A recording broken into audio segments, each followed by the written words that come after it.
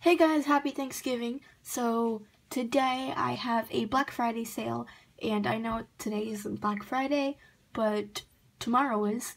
So I just wanted to get this up and early. So anyway, um, like I said, I have a Black Friday sale and um, I have some wallets to show you and the rules will be down in the description box, so make sure you go check them out. But I'll just tell you um, how you can contact me. You can contact me on at email on my email at ducktapejax at gmail.com or on Kik and Instagram. Kik and Instagram is the same username. It's ducktapejax. And um, yeah, so those are my contact information. You can contact me. And yeah, so the rules will be in the description and um, enjoy.